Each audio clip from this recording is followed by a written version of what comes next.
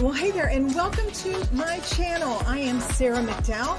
I'm a social navigator, I'm a public speaker, and I am a treasure seeker. I absolutely love thrifting, finding old things, new homes. So sit back, enjoy the show, and hey, if you would, subscribe and like this video. Hey everyone, so good to be back. I've been incognito for a few weeks. As you all know, I bought a flip house, hashtag my biggest flip. We had the appraiser come out on Tuesday and we do have a contract on it. And so hopefully this is this weekend will be the last weekend that I have to go out and get things done. Today we're going to do kind of a mashup. Sorry for that. My laptop is here and people are trying to contact me apparently. Anyway, we're going to do a mashup of things today. I'm going to show you some recent items that I got from a haul. We have some Goodwill Blue Boxes coming up. Hopefully I will be able to do those for the next couple of days and get them out in a timely manner before I leave. And then I need to go back out to a thrift store I was at where I found something rather pricey, worth um, valuable, rather valuable, and I want to go out and see if they have any more of the collection there. So let's get started, shall we? Okay. To our mugs here, I hope. Uh, the first mug that I have is, I picked this up, I was talking to my daughter on uh, a video chat while I was in the store. I did have my headphones on so no one else could really hear both sides of it. And she saw this and she's like, I must have it. Yeah. Bite me on the bottom. So this is now hers. Great Jaws themed mug. It is a mug. So you just well, I mean, I guess you could have it as a planter too, but I mean, who doesn't want to drink from a, a shark mug, right?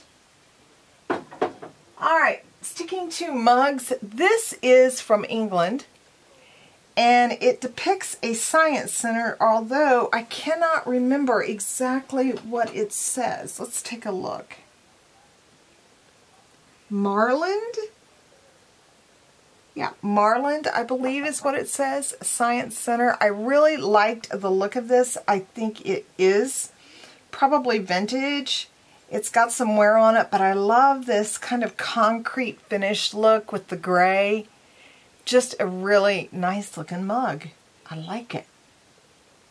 You got some boats here, so it looks like it's on the waterfront.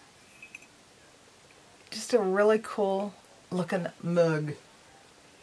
All right, next up, we have this ginormous Starbucks mug, Philadelphia. You have lots of different scenes from the City of Brotherly Love, the Love Statue, we've got the Liberty Bell, probably, um, I don't know, this looks like some type of a revival architecture. It probably has something to do with uh, government. You would think as many times as I've been there, I might recognize it, but I don't. And then this is just a, a cityscape scene. This is part of the Barista series from 2003. And it, like I said, it's humongous. I would say that holds at least 14 to 16 ounces is my guess. Yeah, nice piece. Okay, uh, sticking to ceramics type pieces. I am actually going back to the thrift store where I found this today. This is actually an old Spouter Nantucket piece.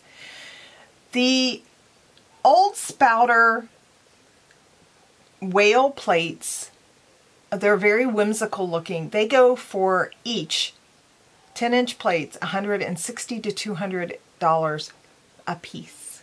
So I'm going back to see if I can find more of these pieces and maybe even if this had a lid, if that's there. I really don't know how much I'm going to get from this. uh, prices on these are very good if you know what you have. And this looks like to be a thistle themed piece. And it, again, it is signed Old Spouter on the bottom. Old Spouter Nantucket. Let's see if I can get it to where you can see it. There you go. Okay. Next up is this owl mug, appropriately named for the owl face look that it has, which is actually the handle. I found two black ones and two white ones. They were a dollar each. There is a maker of these. I think these are contemporary pieces and but there are some that were made from a designer that can go that can fetch a really nice penny or two. But these just come I really like the look out of them. Even if I just keep them, I'm going to be happy with that. But I suspect these will sell. All right, moving away from mugs and bowls, we're going to move to this little planter here. I picked this up. It, it does appear to be quite old. It has peonies. This is a peony bloom. This is a peony that is bloomed. On the bottom, though, it has this very interesting mark, 53274, I believe is what it is. And I cannot find anything about it.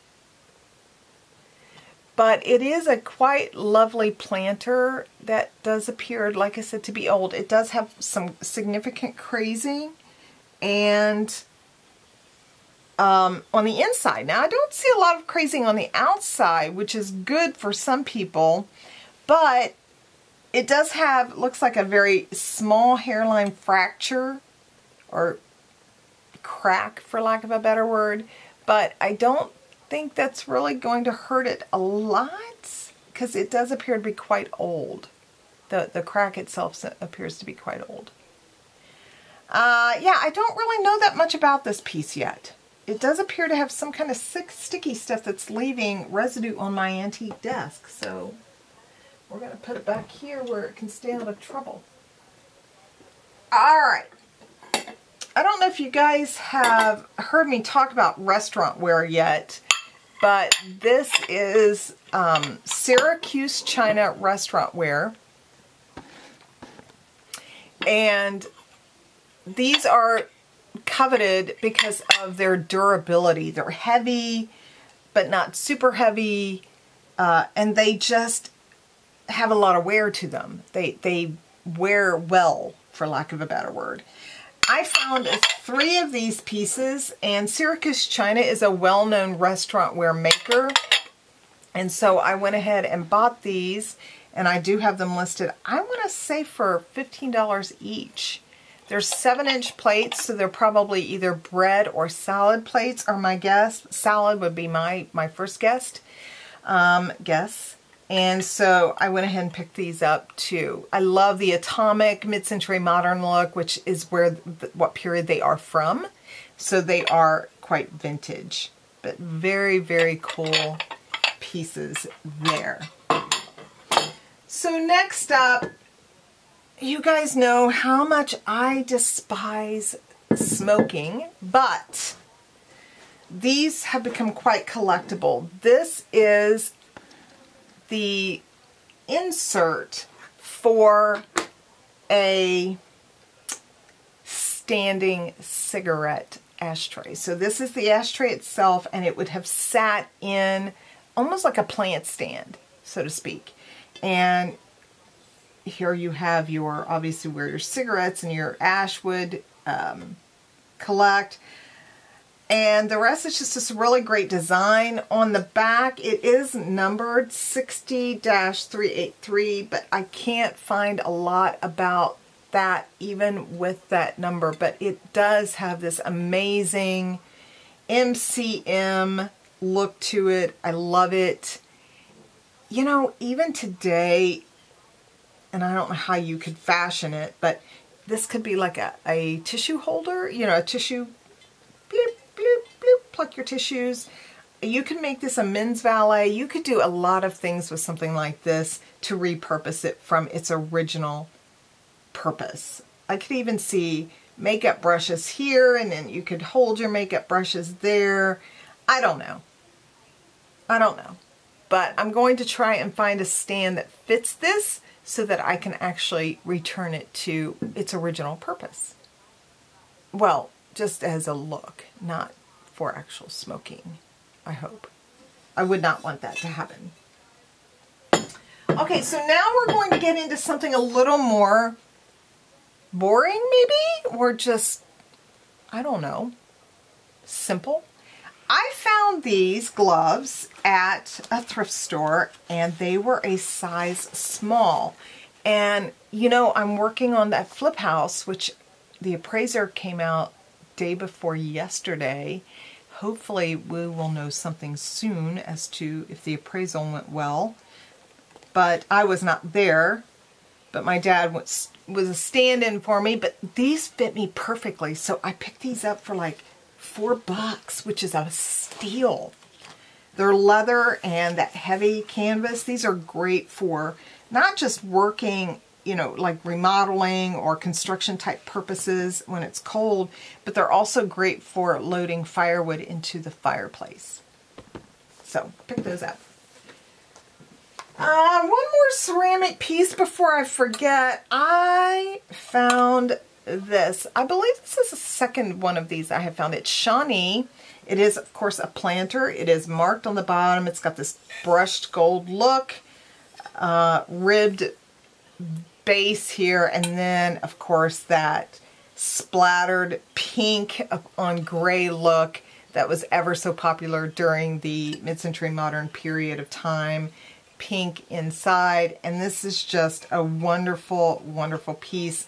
No chips, no cracks, nothing on the sides here of any damage whatsoever, which is very rare to find indeed. So that goes there. All right, so next up, we have these Borm Bormioli, Bormioli Rocco tumblers. They are thick, but not super heavy. They have this beautiful, absolutely beautiful swirled room for them, despite the fact that we remodeled our kitchen with ample storage. But my husband being a pilot, we have mugs and all kinds of stuff related to aviation. Let me put this up here. There you can really see the swirl and the contrast. It's so pretty. These actually go for about 35 to $50 for a set of four. So I just happen to have a set of four. So next up is another mid-century modern ashtray. I may have shown this. I, I can't remember. I really can't find anything about this at all, which is frustrating. I love the contrast. I love the splatter. Let's see if I can pull you in just a little bit more.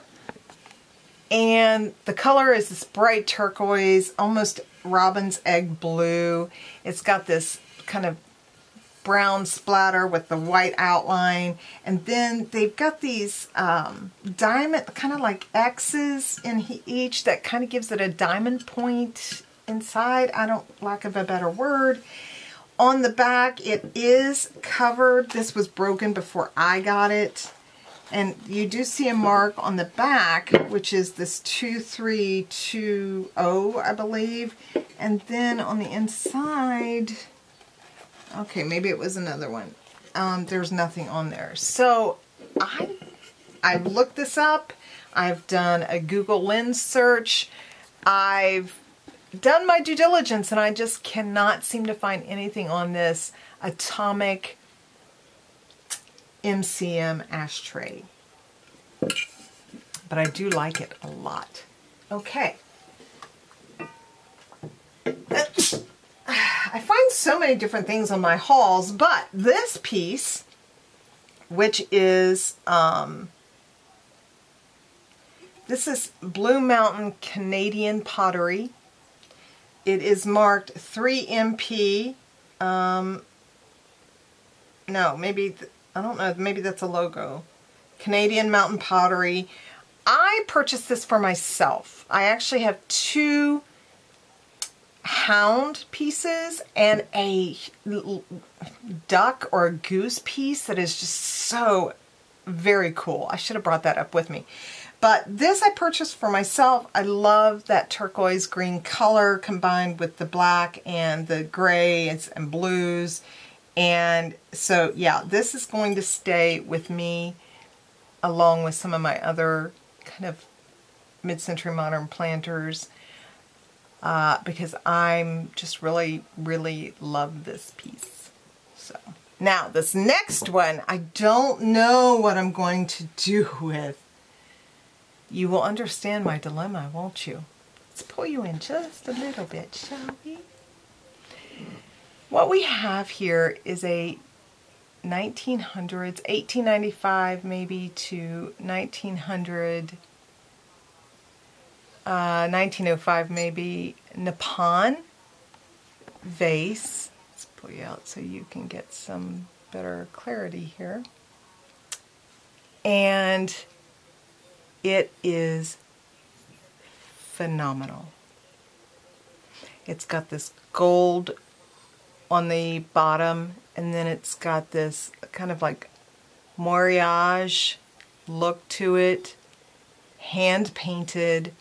The floral designs are spectacular. The greens, the blues, everything about it is superb superb. Even, like I said, the finished floral here on the top, the design all around the top. There is no chips, no cracks.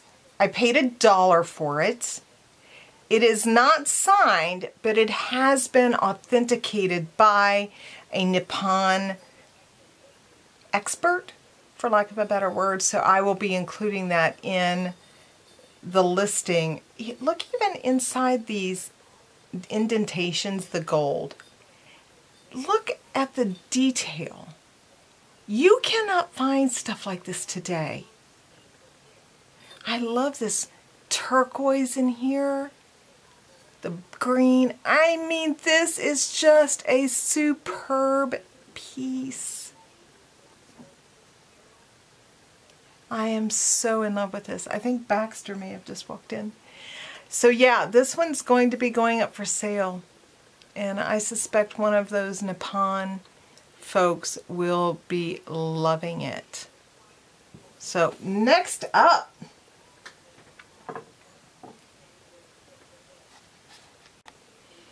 I don't think I've shown this yet, but I, if I have, I apologize. um, I picked this up at a Goodwill. I paid $3 for it, which I think I did, which does seem to be quite a bit of money for something like this. It could be a, well, I was going to say it's a bank, but it's not. It is made in Japan. There we go, Japan. And it does have quite a bit of condition issues. As you can see, it has been broken and fixed. You, you can't really see the repairs that much because of the, the different coloration in the piece. The back is very evident, however. I got this for myself and for very sentimental reasons. When my twin sister and I were growing up, very young, uh, we were still in diapers actually, my mother and father had a collie. This is a collie. And that collie was incredibly bright. Someone ended up stealing her, but before she left us, if we got too close to the fence, um, she would come and grab us by the diaper or whatever we would have on, but typically the diaper, and pull us back away from the fence ever so gently. She was very I think, intuitive in terms of the fact that she was dealing with very, very small children. And, um, but she was also fiercely protective of us. And would never harm a fly, I don't think, unless you came in to get her babies, which were me and my sister and my older brother.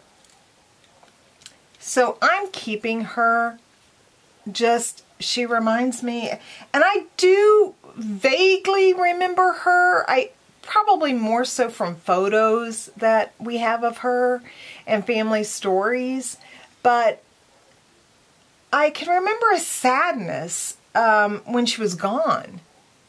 So I don't know, who knows. But I love everything about this piece and it was a bookend originally, I'm assuming. But that's okay. We're just going to keep it and it's going to sit, I think I may have, nope, that's not a crack. And it's just going to sit and remind me of childhood memories, childhood days. All right, so next up. Now, not everything that I buy is, say, something I would like, oh, I love it. Sometimes they're just for the very simple fact that it's going to make me money. And that is the case with this and another very similar piece. These are aquatic pieces by Ice Cap. So these would be used in aquariums. And I found two of these. This was actually sealed. I took photos of it, then I opened it up just to make sure it had the right pieces in it, and it did. And I'll just open this up for you so you can see. So this is an auto control unit uh, for a aquarium, and it's an auto or manual dimmer just like a light dimmer for, you know, a lamp or something, but for your aquarium. And I found this one and then I found an electronic ballast, which I thought I had right here a minute ago, but I don't see it now. And um, these sell, I bought them each for $6. They sell anywhere from 75 to $150 a piece. So I already have, I, I listed them yesterday. I already have interest in them today. I'm hoping they sell quickly.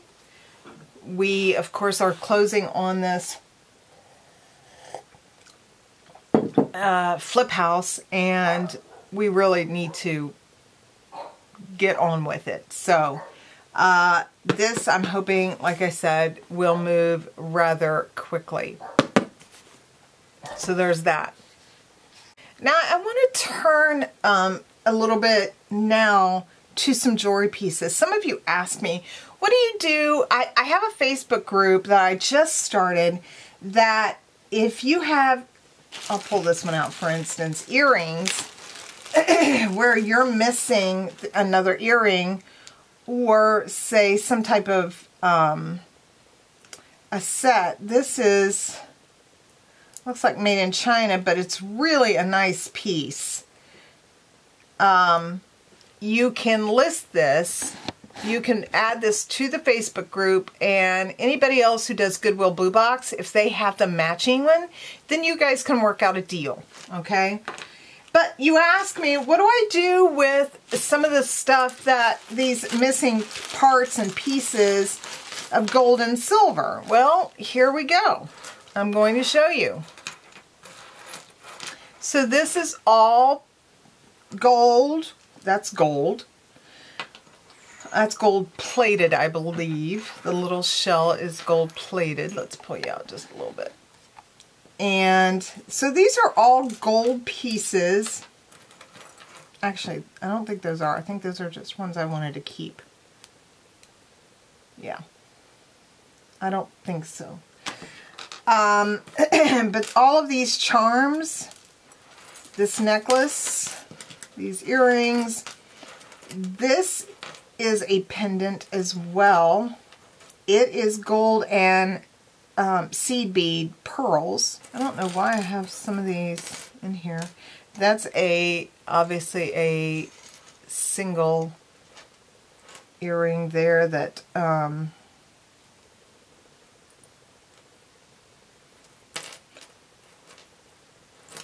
newer. This is an old screwback earring that I believe is gold plated. And so anyway, going back to all the, let's pull you back out, the leftover jewelry or pieces, parts and pieces. One of these are super, super cute. These are little gold earrings. They're actually two parts, so you can wear just the leaves or you can add the little cherries. I think those are so adorable. I actually do have the set of those, but I have them in here. I might list them if someone is interested in them, and they're so cute.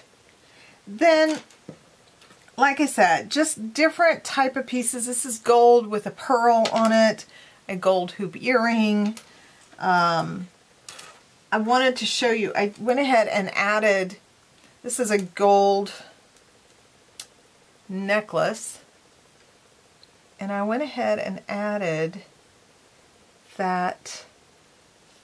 Now remember, everything I find is in Goodwill Blue Boxes. Very rarely, every once in a while I'll get something from the an estate sale, but um, that's gold and seed bead pearls. And so I added it to this gold. I would wear that in a heartbeat. I'm not really much into gold, but here we have a um, a charm that says shopping. And just different, you know, one, like I said, I might add some of these to the earring group. Um, here we have a gold pen that has turquoise cabochons in there. And then we have, this is a, it, the necklace says Born to Shop. It's got this little pendant on it, it says Born to Shop. Let's see, then we have another gold necklace here, just simple chain. And miscellaneous backs and pieces of jewelry that, like I said, are gold and don't have matches. And I'm not really sure what to do with. So I leave them here for now until I figure out what I'm going to do. this is a little toe ring that is gold. It's got like waves on it. Put that back in there. I don't try, I, li I like to not move those around a lot. Now, this, on the other hand, and this one, these are all, this is all sterling.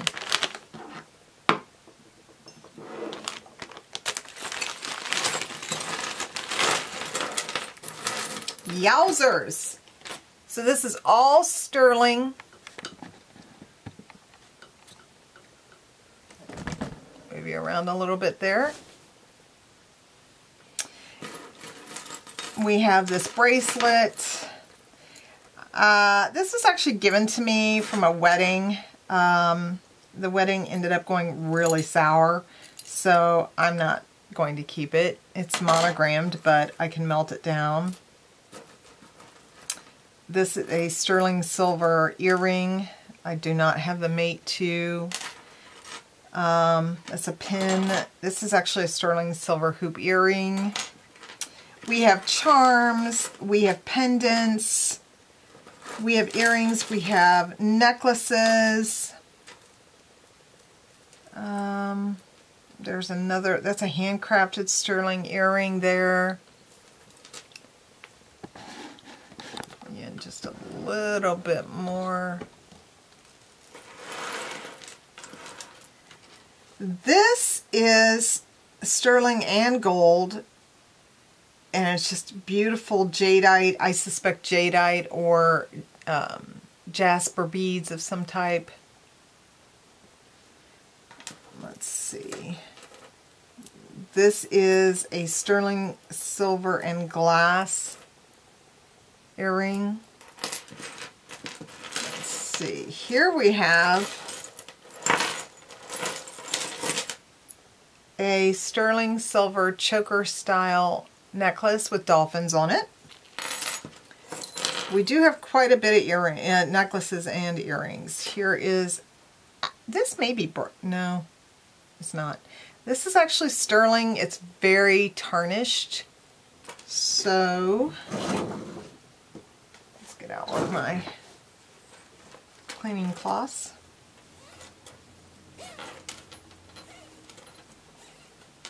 I'm going to need to do a lot more than that to get that cleaned up. Here is a probably a man's necklace that I found. I almost threw it out and then I just did some more searching and it is, it, I've cleaned it up quite a bit, sterling. Let's see. Now some of these pieces, like this is an earring that I added to this piece just to see if maybe I can make it into a, a, different, a new pendant because I love this earring, this handcrafted earring piece. And I find a lot of earrings that are signed that, you know, I don't want them to just, you know, go to waste because they're so gorgeous. And maybe I can send one off to the maker and have them make another one. I don't know. But this is all sterling. We have lots of, here's another one of those, where'd it go? There it is. Handmade pieces that, I don't think this one was signed, but I love it. I love the unusual, folks. Um, here is a silver, old silver screwback filigree earring. Boy, it's not wanting to focus, is it? There we go. Um, so all of this is, this is sterling and onyx. I need to test to see if this is garnet, silver, lots of earrings, pendants. I do have a set here, though, real quick. Okay, those are mine. I don't know why they're in there. This, I love this earring. If I could find out, or maybe, oh shoot, I need to see what time it is. I have a client phone call at 11. Oh, shoot. Yep, I'm going to have to do that. Let me just reach out to her real quick and tell her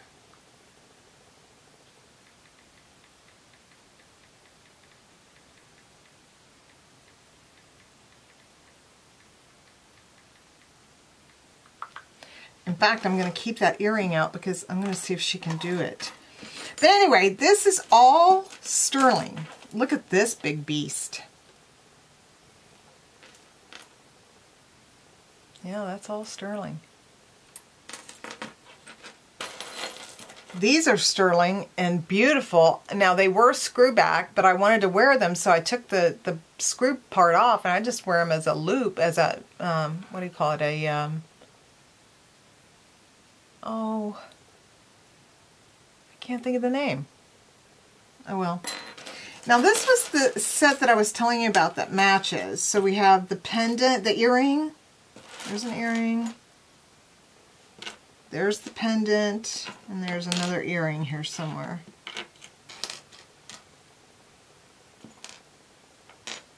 I just had it.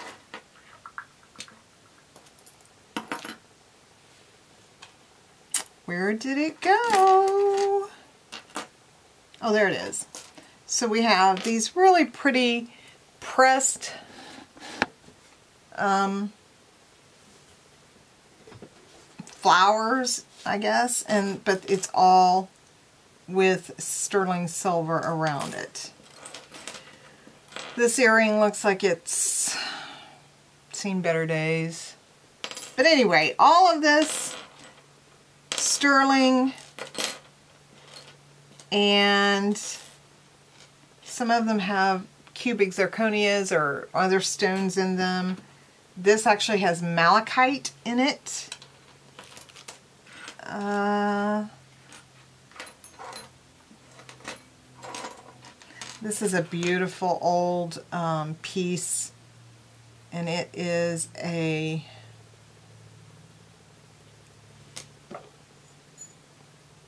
Wiesner, so that's why I kept it. This is also marked WM or MW. I'm not sure what. It looks like it's some sort of equestrian type piece. Uh, maybe? I, I don't know. I mean, obviously it's broken, but... And it looks like there may have been another part to it because this looks like... Okay, so here's the top right here and then this would have come down and it looks like there's a, a missing piece to that. Maybe? Because I don't see a hole in this one. I don't think it would have gone just like that because it's got a little doodad over here so I don't know but it's the only one it's marked I don't know anything else about it yet um, that's part of the problem with some of this is you, you get into it. That's tiger's eye. This is amethyst or, um, yeah, I think that's amethyst. These, I actually have the set of these. I have the set of these. Let me take those out. That's beautiful. Let me show you this. I wish I had the set of these.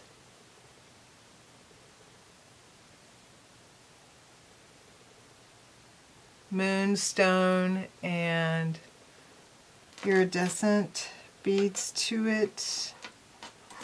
What is that one? Oh, there's the other one. And where's the other bird earring? This is really pretty. This is actually a turquoise piece that I might have fashioned into a pendant.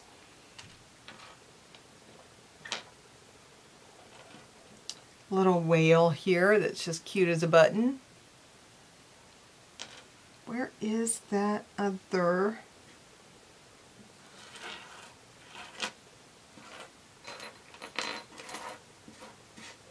Oh, I know it's in here.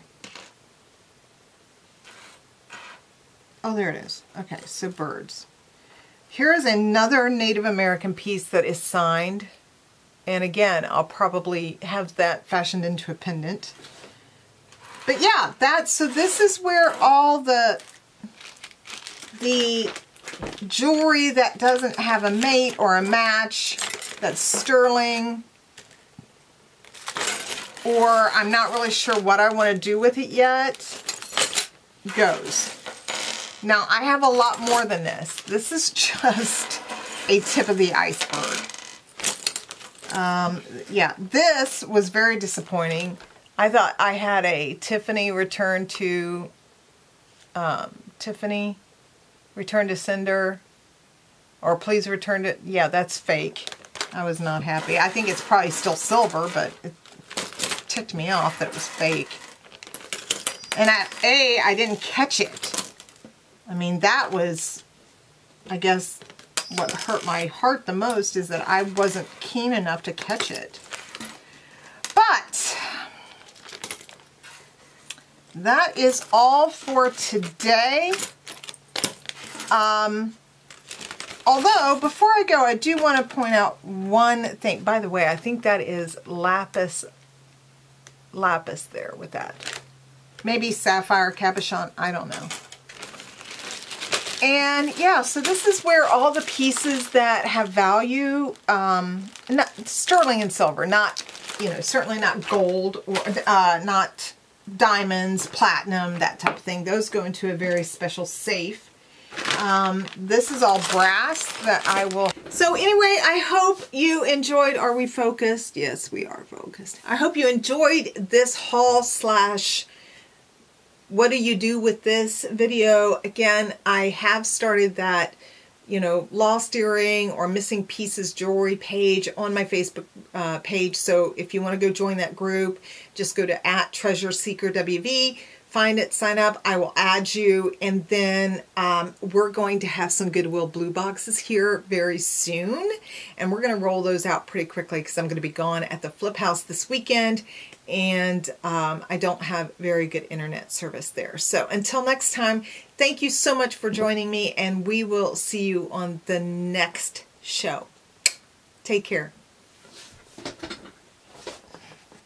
Hey, thank you so much for tuning in with me. I am Sara McDowell, your treasure seeker WV. And hey, if you would like this video, subscribe and share it with someone you think might enjoy it. See you at the next show.